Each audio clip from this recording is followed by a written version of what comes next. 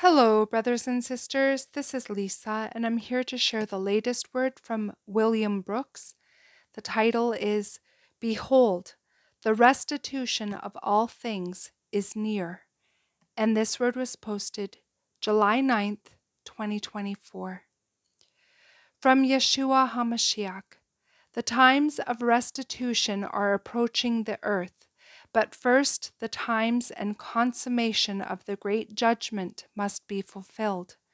And I, Christ Jesus, will judge the earth, for the earth is mine and the fullness thereof. And I have purchased the earth in my atoning blood at Calvary. Of an unchangeable truth, I gave every drop, drop of my innocent blood that I shed for the sins of mankind. For those who accept my offer of peace and eternal life, there will be peace and eternal life, and the ways of the righteousness will prevail. For those who reject my offer have chosen the ways of death, judgment, and eternal punishment. For the world passes away, and there is no other choice. And so they will bear their judgment and every sin, evil word, evil thought, and evil act will be laid bare, so they may give an account. But those who reject my salvation will never be able to stand, and by default choose the lake of fire that is prepared for the devil and his angels, and such a thing is not necessary, but each are free to choose. I am he who is coming to judge and make war and Yahweh's ways will rule the earth in righteousness in my coming kingdom. For you, my church, and even my precious bride, will be taken to the heavens, and you will receive your inheritance, and you will take your places amongst the orders I have prepared for you, even your places amongst Jacob, for you are the Israel of God. For in me, Christ Jesus, there is neither Judean nor Gentile, but a new creation, and that creation will move as one new man. Behold, you will be a new man, and you will be a new creation. Have I not given you the down payment of Holy Spirit, even the seal of the living God, which cannot be broken? Which of you can undo the birth of your natural children? You cannot, because your genetics are passed from generation to generation, and children are permanent. And so it is. The seed of Yahweh created within God's children cannot be corrupted, for it is impossible that you should be plucked from my hands. Have you not read?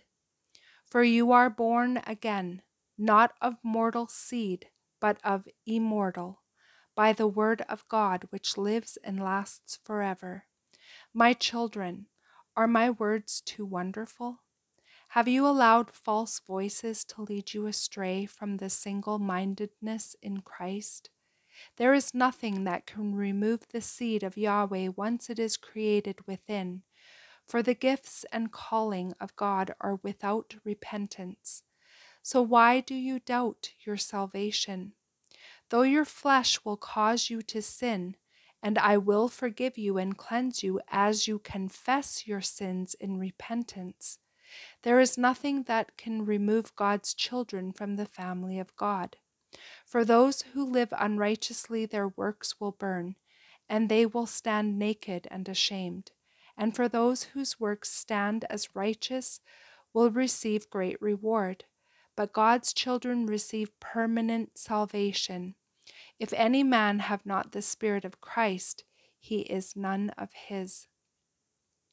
For those who live apostate lives and for those who pretend to live for Christ in name only, will fall away as the true church departs. For he that sows to the flesh will of the flesh reap corruption and for those who tried to make me Lord from a faithless heart and continued in sin will be left to Jacob's trouble for the destruction of the flesh, and will need to call on the name of the Lord till the end. And so will it be. those who deceived themselves until, until their last breaths and did not die in Christ and never had a saving relationship with me will face their judgment. Do you think Yahweh, who is the searcher of hearts, can be fooled? Do you think that me, Christ Jesus, does not try the hearts of men for faith and trust in me?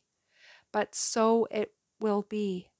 And I will say to many who call me Lord, Depart from me, you workers of iniquity. I never knew you. But for you, my church, my called and faithful and chosen, even every soul who has achieved salvation is also made heir of the promises made by Yahweh to the fathers. For it is written that the Gentiles should be fellow heirs, and of the same body, and partakers of his promise in Christ by the gospel. And I have grafted them into the natural olive tree and all who are created newly in me will be fully restored to perfection and righteousness and true holiness. Have I not promised you spotless garments, my little ones? And I have appointed your inheritance amongst the tribes, for you are the Israel of God, whom I have redeemed from the earth. Quit thinking in terms of academic genealogies for the blood of Adam is corrupted in sin. As it is written, the first man Adam was made a living soul, and the last Adam was made a quickening spirit.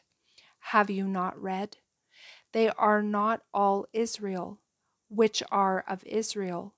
For the children of promise are the seed of Abraham by faith.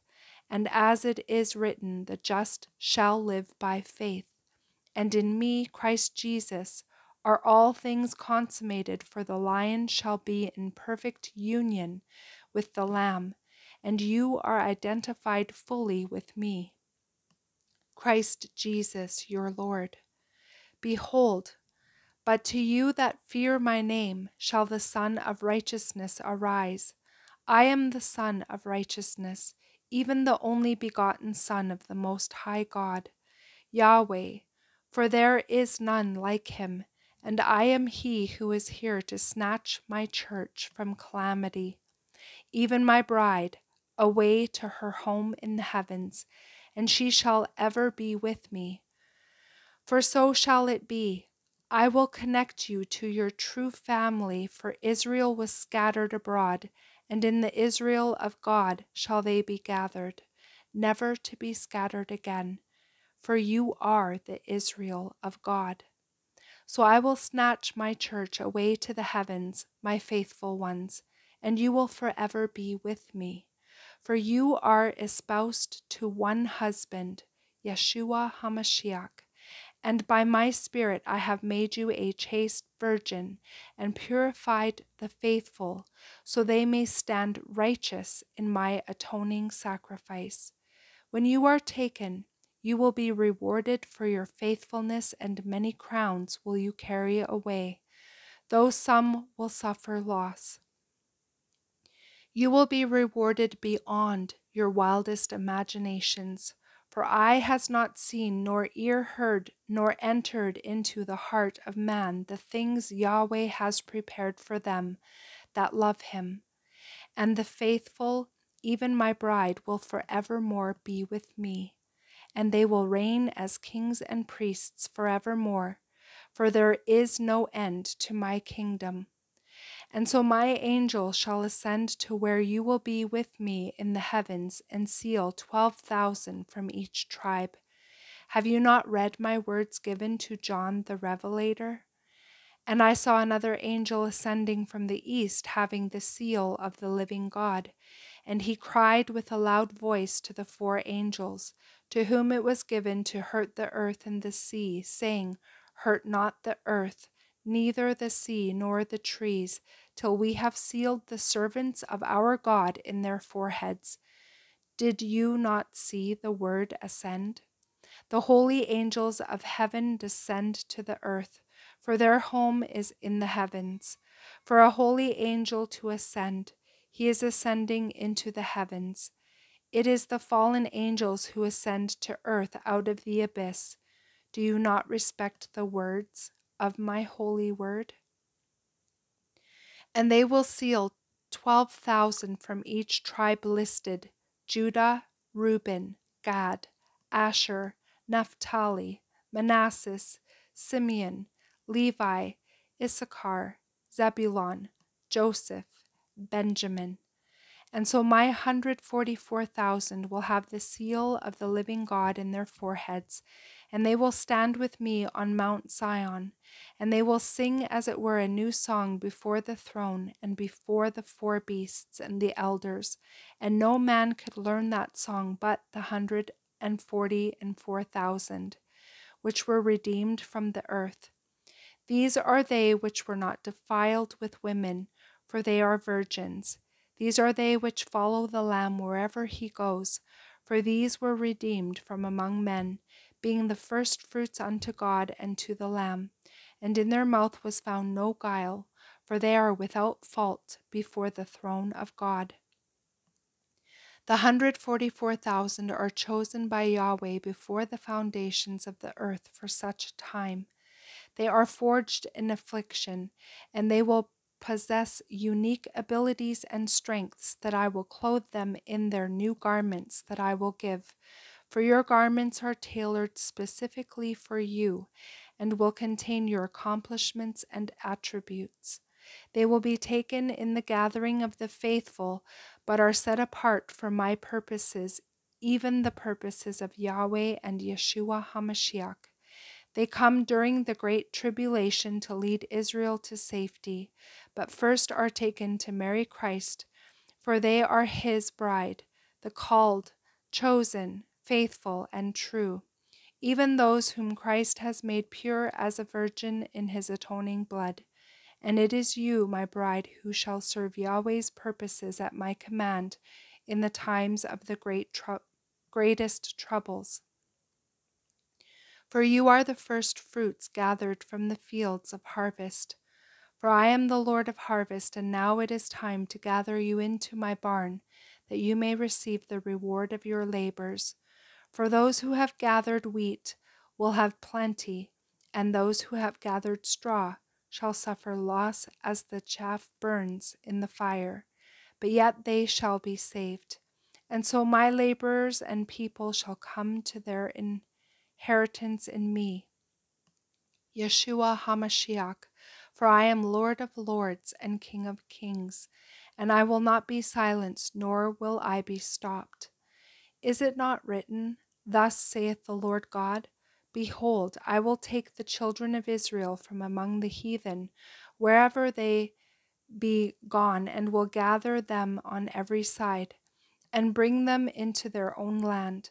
And I will make them one nation in the land upon the mountains of Israel, and one king shall be king to them all. And they shall be no more two nations neither shall they be divided into two kingdoms any more at all. Neither shall they defile themselves any more with their idols, nor with their detestable things, nor with any of their transgressions, but I will save them out of all their dwelling places, wherein they have sinned, and will cleanse them. So shall they be my people, and I will be their God. I, Yeshua HaMashiach, have sent these words by my servant, and by my servant have these words been sent. Behold, I am he who is coming in the clouds, so make yourselves ready, my wise virgins. From Yahweh, the great eternal God.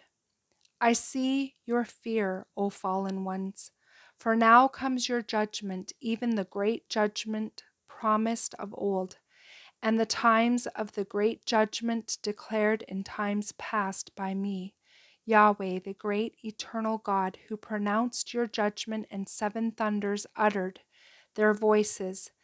And so the voice of the Almighty God shall be heard, and my purposes shall be brought together. Even my plans for the ages will be consummated in my Son, Jesus Christ. For in the first fruits comes the rewards of harvest for the laborers sent forth by Yeshua HaMashiach, and my wheat will now be gathered into my barn, and the final separation on earth will begin, and Jacob's trouble is here.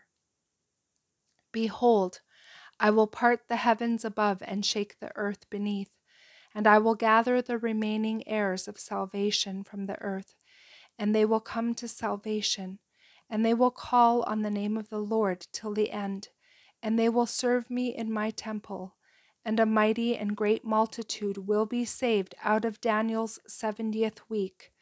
I, even Yahweh, will rend the earth and remove the mountains from their places, and all the world shall know that El Shaddai has risen from on high, and the great judgment will now break forth upon the earth when my faithful are gathered, for transgressions will be ended, even the transgression of Jacob and the sins of the house of Israel. In their place will come the rule of righteousness, even the righteous rule of my only begotten Son, Yeshua HaMashiach, in whom I am always well, ple- well pleased. It is he who will smite the nations with a rod of iron, and a rule of righteousness will it be, where the lion shall lie down with the lamb. And so shall it be the high priest forever after the order of Melchizedek. And the Lord of lords and King of kings will fully unite in eternal consummation, and forever shall his reign be, even Yeshua HaMashiach, for the same is also Jesus Christ. Prepare yourselves, those who dwell on the earth in unrighteousness, for I send my Son to exact my judgment, and to smash to pieces all rule of the fallen ones. For their times have come, and judgment will fall heavy on the earth. For you have treasured up great wrath against the day of wrath, and the day of wrath is upon you, O worthless ones. For you have defiled yourselves in utter depravity, and you have no peace for your filthy, abominable ways. But before you go to your eternal inheritance, where you will be engulfed in the hottest flames of blue, you will first serve my purposes, for even my enemies obey my voice. And so judgment will begin at the house of God and I will send my Son, even Christ Jesus, the resurrected Messiah of Israel and the Savior of the world, and he will perform all that I have ordained and promised to the fathers and to the children, and all shall be yea and amen as fulfillment of the promises comes to pass. For the heavens have been made ready for my children even all whom I have ordained for my purposes before creation began. For I knew each and every one of you in eternities past, and I set you as a mystery hidden in my heart, that I only revealed at the proper time in my eternal plan of salvation. There is nothing that can happen that I am not aware before it happens, and it is I, the Almighty God, who calls things that are not as though they already are. O you fallen ones, you will utterly burn in your approaching judgment, and you were foolish enough to think you could take Yahweh by craft. But I am He who takes the proud in judgment, for they are wise in their own conceits. For I only showed you the worthless mysteries, for I knew you would betray all that is of me. How foolish you are, O fallen ones, and you are not wise. All you have accomplished is your own torment and continual destruction in the hottest flames, and you will swim in fiery brimstone. For so the great lake burns forever, and I will set the seal and you will be utterly forgotten, and you will not come to mind. But this fate is not for you, my chosen, my faithful, even all who are called by my name. Yours is a future of eternal joy, eternal happiness, eternal bliss, and there will be no end of days, and there will never be a bad day for those who enter into paradise. Behold, I will restore all things and even make them better than my original perfection before corruption fell. For I will create a new heaven and a new earth, wherein dwells righteousness, and nothing will enter that is evil nor defiled. For without are dogs and sorcerers, and whoremongers, and murderers and idolaters, and whosoever loveth and makes a lie and they all will have their part in that burning lake, where their worm dies not. So there is nothing to fear in your future, my called, chosen, and faithful, and you will ever rule with Yeshua HaMashiach, and there is no end to his kingdom or rule. And I, the great eternal God, even Yahweh Himself will make my abode amongst men, and there will be peace and harmonious perfection over all of my creation, and I will wipe all tears away from their eyes, and never again will anyone rise who will trouble you in the least. For I, Yahweh, even the great God, swear these things by my own name, for I can swear by no greater. But unto you that fear my name shall the Sun of Righteousness arise with healing in his wings, and you shall go forth and grow up as calves of the stall. I, Yahweh, the great eternal God, have sent my words by my servant, and by my servant have my words been sent. I am the great I am, and there is no other. Kiss the Son, lest he be angry and you perish from the way when his wrath is kindled but a little. And that is the end of this message. I pray you all have a beautiful day in the Lord. God bless each and every one of you, and I will see you either next video or in the air. Bye bye.